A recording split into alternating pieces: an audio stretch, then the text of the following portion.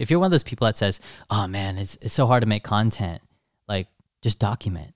Mm-hmm. Don't focus on content creation. Focus on content documentation, and then before you know it, you'll have just a ton of content that you could repurpose for later. If you if you want to grow or evolve anything, record yourself, document it. Yep. And so you could see how it grows and shifts over time. So when you document yourself, like when you're in intense emotional state, what I do when I'm in intense emotional state, I'll turn on the video and I'll start recording myself. And I'll just "Ugh," like I'll just I'll just mm-hmm. let it out. I'll scream, I'll I'll curse, I'll say fuck this, fuck that, blah blah blah blah. blah. Mm-hmm. So, so you can bleep that out. I don't know if it's- Censored. okay, okay, cool. Um, and then when, when I feel like I finish releasing, I'll be like, okay, and then I'll, I'll turn off the camera, and then I'll watch it. I'll you watch yourself in your authenticity. You watch yourself in your pure beingness without any filters, without trying to censor it for other people, Without judgment. without judgment.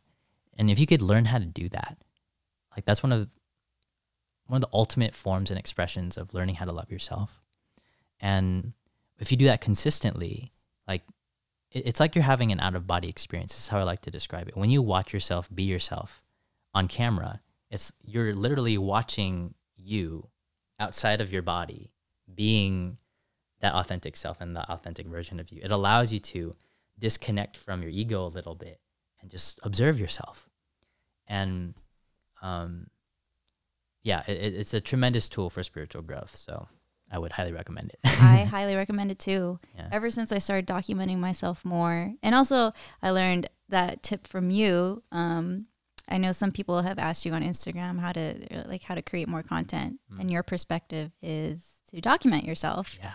And that in itself is content. Yeah. Yeah. Yeah. If you want to, if you want to make content, if, you, if you're one of those people that says, oh man, it's, it's so hard to make content, like just document. Mm-hmm. Don't focus on content creation, focus on content documentation. And then before you know it, you'll have just a ton of content that you could repurpose for later. Because right now, you may not know the story that you want to tell. You may not know who you are or where you're going. But if you just document it, there's going to come a point in time where you look at the, the, bigger scope of all of that documentation that you've done, and then you will find the story. You'll see the story there.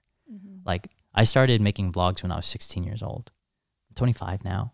So, like 15 Nine- years. Nine years. Nine years. Nine years. Is that nine years?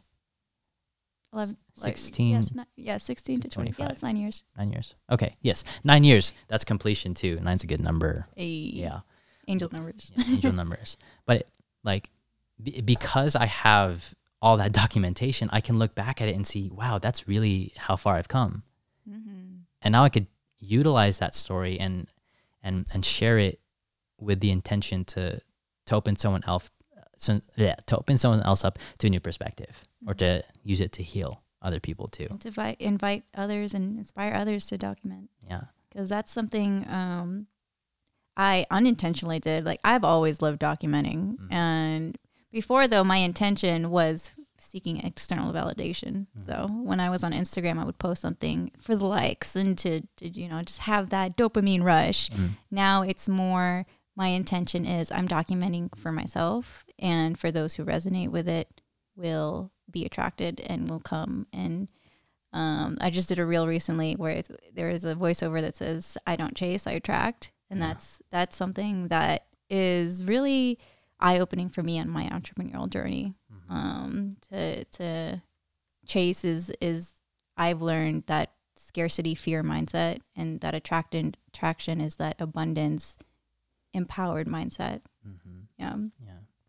Yeah, and um, yeah, when it comes to documenting, it, if you feel scared to document yourself and look at yourself, that in itself is something I invite you to look at. Yeah. and- It's all the more reason why you should do it. Yeah, all the more reason.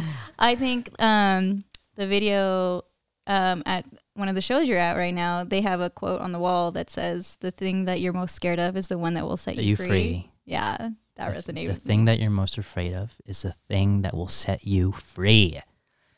Oftentimes, like the the things that we have the most resistance towards is the the compass towards our growth.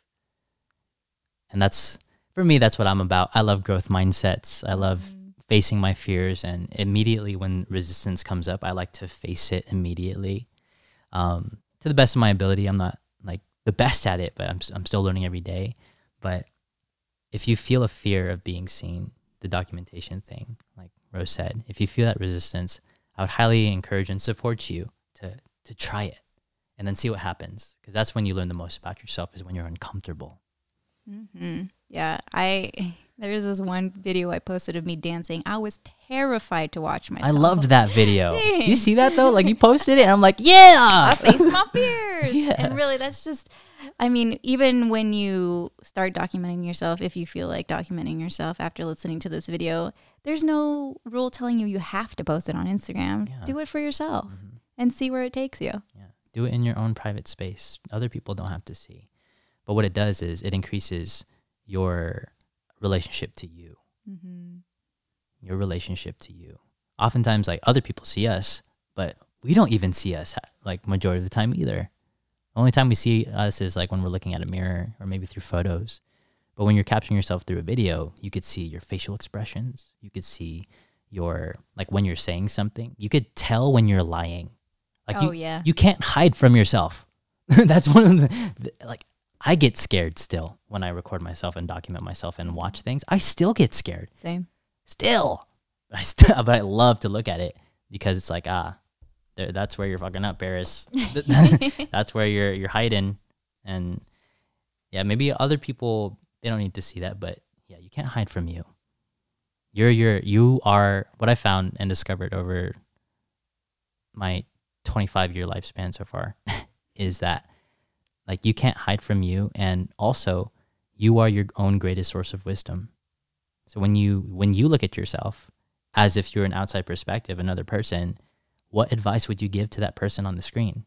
Mm-hmm. Yeah, it allows you to to kind of build that type of relationship to yourself too.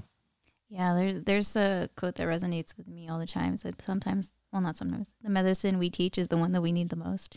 Yeah.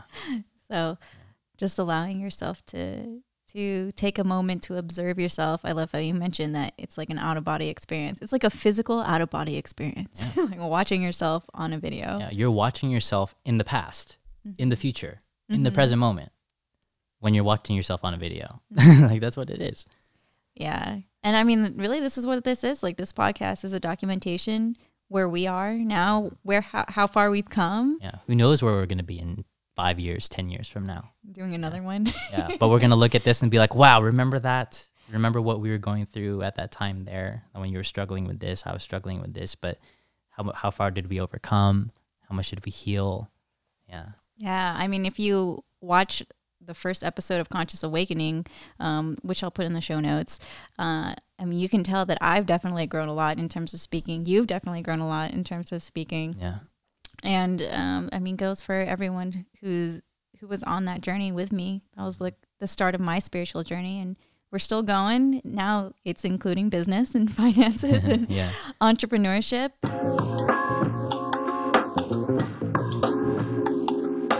So when I started to shift how I use my words, words are powerful, mm-hmm. and to call it instead of attention deficit disorder, like a dis a disorder that's like something's wrong with us, and calling it attention directed to higher dimensions, it was it became more empowering.